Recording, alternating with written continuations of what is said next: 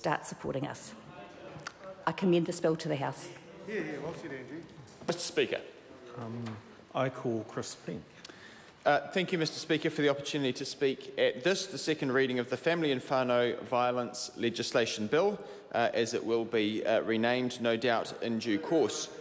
Um, sir, I'd like to um, acknowledge the remarks that others have made across the House more generally about the evils of domestic violence or um, family and whānau uh, violence, sir. Um, I don't wish to belabour the points of um, the um, particular evil that uh, is indeed the scourge of our society, um, except to say that, um, of course, like every other member of this House, I do acknowledge uh, the importance um, of that and, and therefore the need to do something about it. This is something, sir, it is something therefore that we must do if it is a useful and worthwhile thing in itself, and it is, but it's also worth acknowledging, I think, uh, and again, I believe that every member of this House does acknowledge that there is much more that can and should be done uh, in this arena. Uh, let me begin, sir, please, by uh, noting that a number of different bills, excuse me, a number of different acts uh, will be changed by this bill, and it seems to me that reflects the fact that this is a complex area. Um, it's an area of our legal system where a number of different facets, for example, bail, uh, care of children, the Crimes Act, and so forth, are touched by this legislation.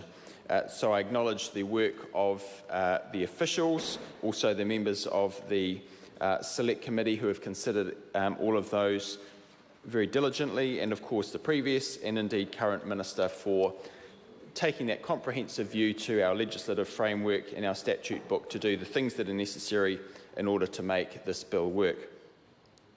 Uh, my colleague Harete Hipango, who has uh, serious uh, credibility and experience in this field, has talked about the main features of the bill, so I won't um, belabour that point except to say that I would like to focus on um, some of the aspects that go particularly to the definition of uh, violence. That seems to me very germane, indeed crucial to the way that the bill operates and the way that it will be uh, executed, so to speak, uh, in the field, in the home, indeed, uh, most often, uh, Mr. Speaker. I'd like to focus um, in particular on Clause 9, which talks about amending the definition within the Act of psychological abuse. This is very interesting to me, Mr. Speaker, as a matter of uh, lawmaking, uh, of course, in addition to the very substantive, uh, very serious substantive issues that are um, discussed and raised in relation to the types of abuse that would be covered uh, by this bill. One of these is the definition of psychological abuse um, as it reflects forms of abuse in relation to the elderly uh, and also disabled people. So, uh, if you'll allow me, uh, sir, I'd like to uh, go through some of the detail of that because it seems to me very important to the issues that we are trying, uh, at least trying, sir, to uh, rectify by passing this legislation, if indeed we go through to the third and final reading.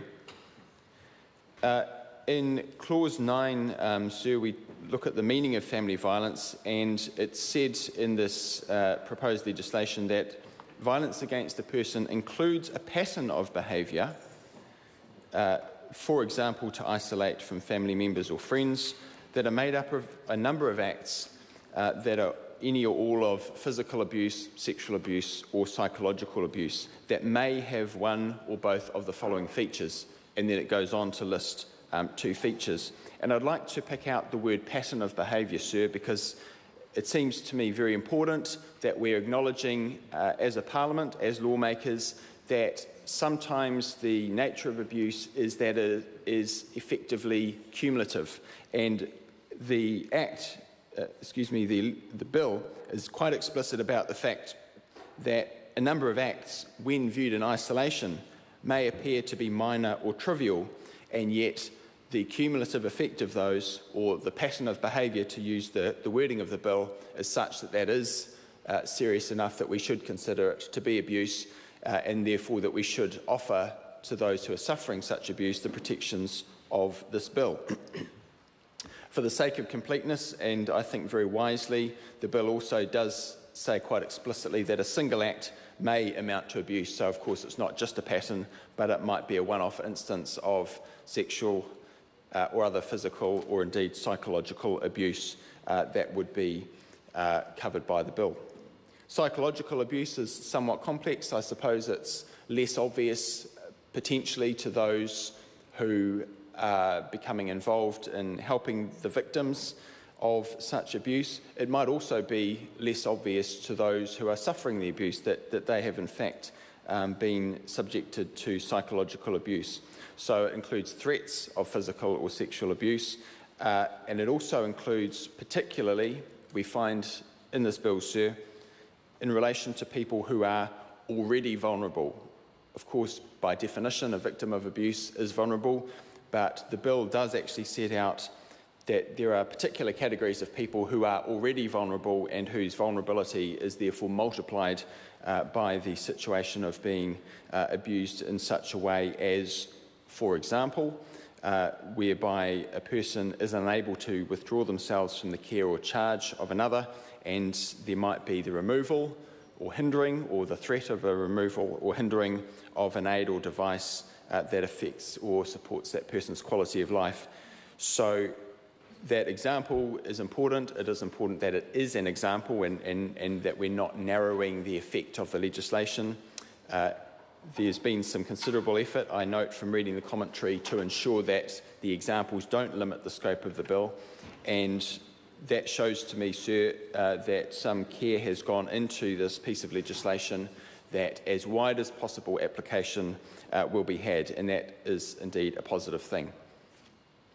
I'd like to take a moment, sir, to acknowledge the fact that there are factors that are outside the ambit of the bill, not by reason of it having been drafted in a way that is limited, except to say that all law is limited in the sense that as a society, as a community, indeed as families and whānau, we must own the issues, as the uh, saying goes, in a way that acknowledges that with all the best will in the world of the Parliament, and it seems that the Parliament does uh, so far unanimously support this bill, that there are factors outside uh, the ambit of the law, things that we do need to take ownership of and do outside of the legislative uh, framework. With that in mind, um, I note that in the regulatory impact statement, there are a number of key constraints set out. Non regulatory options were considered, but um, the scope of the review that had led to this bill uh, being crafted uh, was not um, focusing on those explicitly or exclusively. There was some discussion as well, uh, Mr. Speaker, about the quality of the evidence base. And it was noted that uh, there are a number of range of, or excuse me, there's a range of factors that contributes to perhaps the lack of understanding of what family violence might be. An obvious reason for that might be because um, such violence takes place behind closed doors, almost by definition, and that there has been historically low reporting of such incidences. Uh, looking further down on the agency disclosure statement, sir, we see that it's noted that there will be, no doubt, an increased demand for services as a result of this bill. That is a good problem to have in itself if it's the case that uh, more services are required to give effect to helping those who are in situations of abuse but we do then face the conundrum of being unsure whether an increase in services being required reflects the fact that there is better reporting, greater acknowledgement, and indeed better assistance being given, as distinct from an increase in the rate of violence or abuse. So that is something that we must uh, remain vigilant um, about, sir, as lawmakers and indeed as a society as a whole. And it goes to the point that was uh, highlighted, I think, very well by various colleagues earlier about the name of the bill and acknowledging that uh, a disagreement, including physical, sexual, or psychological abuse, is not merely a domestic matter, not merely behind closed doors, and that a man's home, or indeed a person's home, is not his or her castle in a way that should preclude us from taking an interest and taking action in these cases.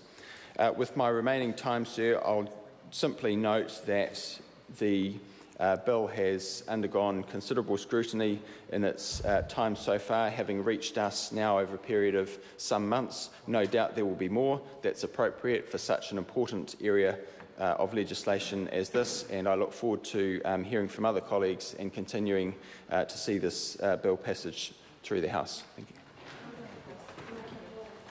I call Priyanka Radhakrishnan. Tēnā koe te mana whakua.